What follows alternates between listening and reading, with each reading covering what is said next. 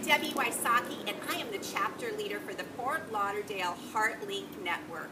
And I am so excited to welcome you to the HeartLink Network in South Florida.